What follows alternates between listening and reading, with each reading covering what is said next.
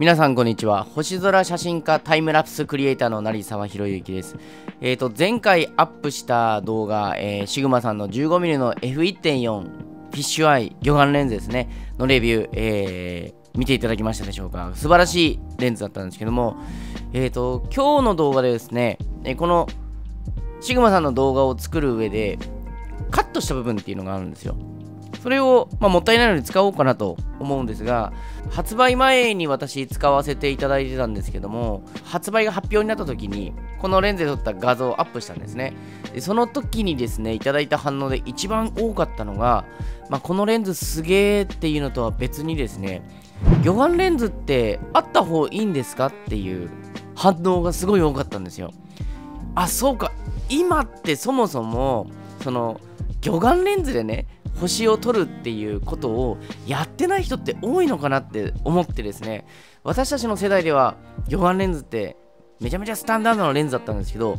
今は違うのかなっていう風に感じたんですよ。ですので今日の動画ではですね今まで私が撮影してきた素材の中から魚眼レンズを使うとこういうことができるよ撮れるよっていうのをお伝えしたいと思います。それでは行ってみましょう。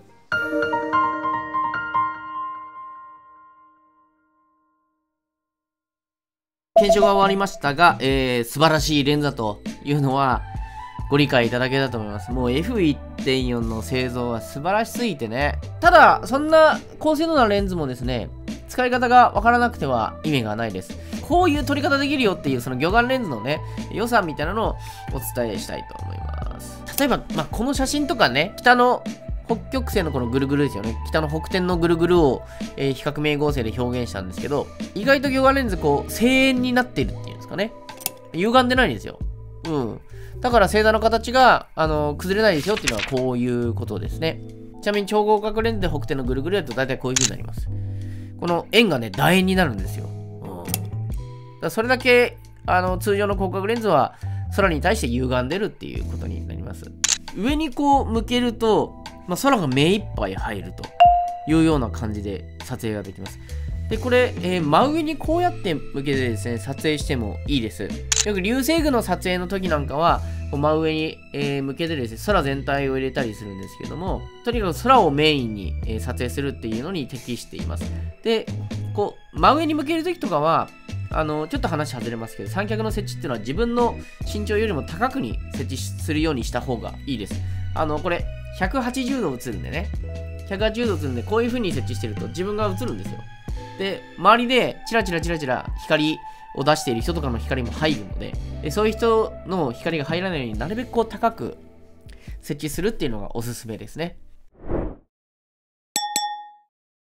でそれからですね、歪ませない撮影方法っていうのがあって、それが私一番好きです。で、ちょうど真ん中にすると、歪まないんですよ。水平線地平線がそのちょうど真ん中に来るような感じなんですけど、そうするとちょうど構図が、ま5対5で風景と空っていう風になるんですよね。で、そうなるとね、普通の広角レンズっぽく使えるんですよ。しかも、えー、これ 15mm の魚眼レンズなんで、割と被写体に対して近づけます。だから前景に大きな、えー、岩とか、えー、そういうオブジェがある時っていうのはぐっと近寄って撮影することができますし、180度あるんで、えー、割と空も風景も目いっぱい入るんですよ。もし気に食わなければ、こっからトリミングすればいいっていう話になってくるので、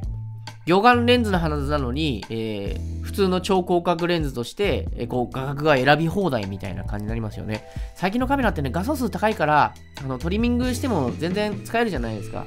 で、とにかく目いっぱい入れることができるので、その天の川の撮影ってすごく適しますし、あと冬の天の川はね、えー、フィルターなしで撮影すると結構地味なんですけど、えー、こういう魚眼レンズで撮影すると目いっぱい入った時に、えー、星のその冬の天の川の映る範囲がこう広くなっていくと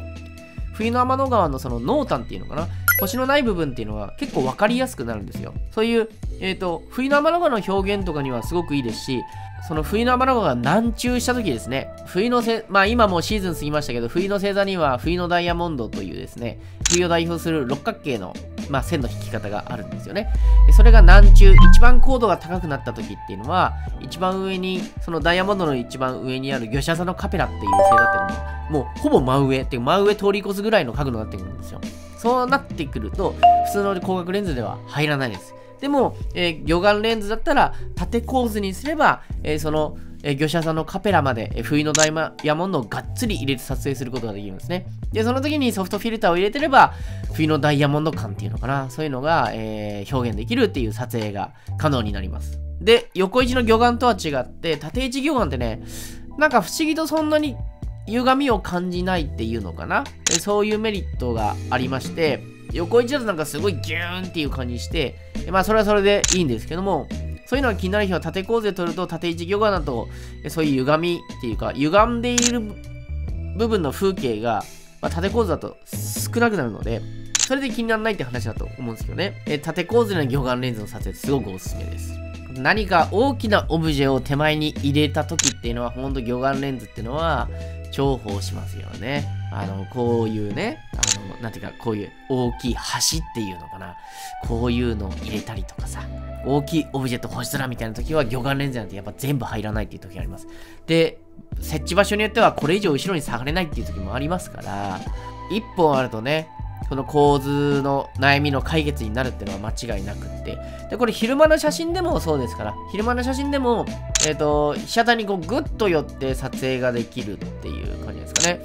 すごく奥行きのある、えー、撮影ができたりとか、あとこういう飛行機とかね、すぐ自分の頭上の上を通るような空港とか、そういうところで撮影するときは、あの、こういう魚眼レンズあると、結構面白い撮影ができますよね。魚眼レンズの歪みが気になるようであれば、えー、今、フォトショップとかね、ソフトで、えー、動画のダヴィンチリゾルブとかでもできますけども、えー、歪んでるやつをこうまっすぐするっていう補正がかけれますから、えそのレンズ補正をかけると超広角レンズとして使えるので、なんというか、画像処理がどうのこうのって、あの、小難しいこと言わなければ、まあ、一石二鳥にも三鳥にもなるレンズが魚眼レンズなんですよ。い、かがでしたでしょうか？あのね、間違いなく1本あった方がいいんですよ。まあ、その魚眼レンズが、まあ、予算の都合から海外メーカーになるのか、もしくは、えー、まあ、マウントの問題もありますよね。ソニー E マウント、えー、L マウントを使っているユーザーは、えー、シグマさんの 15mm の F1 っていうように手が届くわけですが、まあ、どのレンズを選ぶかどうかは別として、え、魚眼レンズっていうのは間違いなく、えー、おすすめできるレンズで、私も整形写真始めた時、最初に買ったレンズ、魚眼レンズだったっていうのもあるんですけども、えー、やっぱり未だにどのレンズ買ったらいいですかって言われたら魚眼レンズ買ったらいいですよって最初に言うぐらいなんですよ。なので、えー、まだ未体験の方ですね、えー、ぜひ自分の機材リストの中に魚眼レンズを入れて、えー、整形写真の撮影を楽しんでいただけたらなと思います。えそれでは今日はここまでになります。また次の動画でお会いしましょう。さよならバイバイしたっけね